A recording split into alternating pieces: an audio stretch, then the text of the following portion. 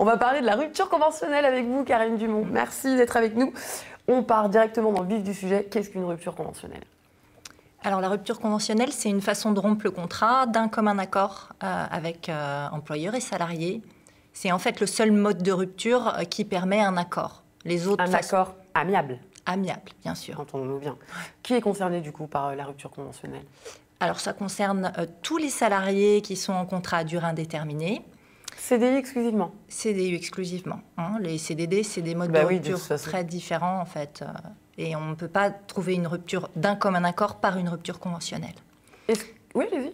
Et donc, c'est très large. Euh, l'idée de ce mécanisme, c'est euh, de permettre à chacun euh, de partir librement. Et donc, tout le monde est visé. Même les salariés en arrêt maladie, les congés maternité, voilà, tous les salariés. Est-ce que les modalités ont changé, ont évolué?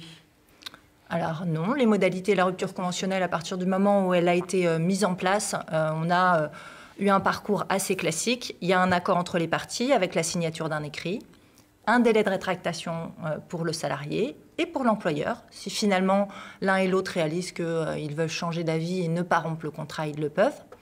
Et puis on a un troisième euh, intervenant qui est l'administration du travail. On va envoyer le document signé à la directe, l'administration du travail, et elle va valider et vérifier que le contenu est bien protecteur du salarié et qu'il résulte bien de l'accord des parties. Quand même plus pour protéger le salarié de la rupture conventionnelle que l'employeur ou c'est vraiment Kiki Bourrico Alors non, il n'y a pas, pas d'idée de protection. L'idée c'est deux personnes veulent se séparer amiablement et on trouve une façon de rompre le contrat amiablement qui préserve les droits de chacun. Pour l'employeur, c'est la liberté de rompre et pour, pour le salarié, c'est bénéficier d'un certain nombre de droits, un, euh, l'indemnité de rupture, il y a une indemnité équivalente à ce qu'on perçoit dans le cadre d'un licenciement. Et puis deux, c'est l'indemnisation chômage. Le salarié va percevoir une indemnisation chômage, contrairement à ce qu'il ne perçoit pas dans le cadre d'une démission. Donc ça, ce sont les droits euh, du salarié. Quel recours en cas de contestation? Ben, Finalement, les, les cas de contestation sont assez réduits, puisque on part du principe que tout le monde est d'accord. On a un organisme de contrôle, entre guillemets, c'est l'administration du travail. Donc les garanties sont là. La seule voie possible, c'est euh, la contestation de la, véritable volonté des partis à l'origine. Est-ce qu'il n'y en a pas un qui a été contraint plus que l'autre Et ça, on fait comment pour le, vérifier, le prouver?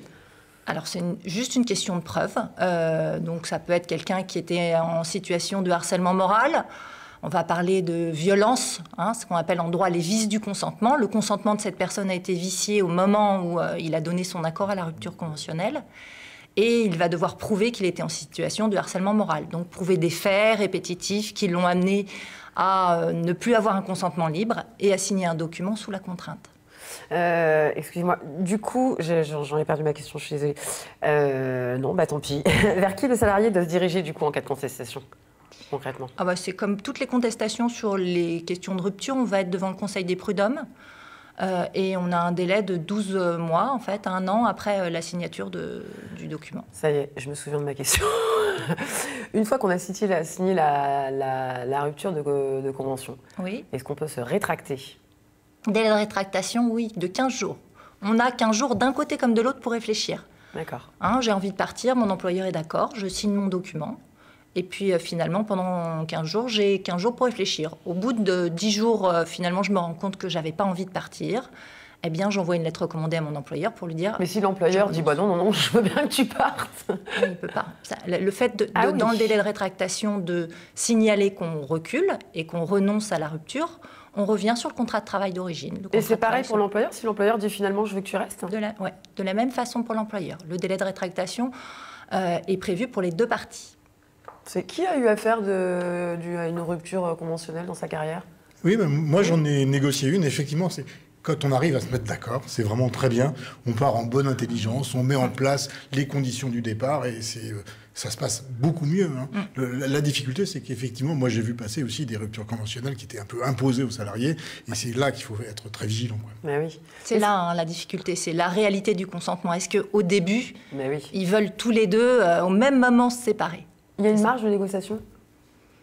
Alors, il y a une marge de négociation, oui, parce qu'il y a des salariés qui finalement se voient proposer une rupture conventionnelle, qui n'avaient pas forcément envie de partir, mais qui se disent rester dans une structure où on ne veut plus, je ne vois pas l'intérêt. Donc, Bah du oui. coup, ils vont aller vers la rupture conventionnelle, peut-être un peu forcée, mais là, du coup, ils vont négocier plus que le minimum de l'indemnité. Euh, parfois, ça vient du salarié qui a retrouvé quelque chose, qui a envie de se repositionner, changer d'univers professionnel.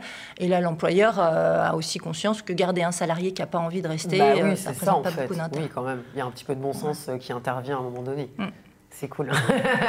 Karine. Dumont, avocate au barreau Nantes. Merci beaucoup d'être venue nous parler de la rupture con- conventionnelle. Pardon. Je rappelle que euh, on fête les 10 ans du festival dédié aux films judiciaires. Cela se passe à Laval, au Cinéville, le 11 et 12 octobre. Euh, on va parler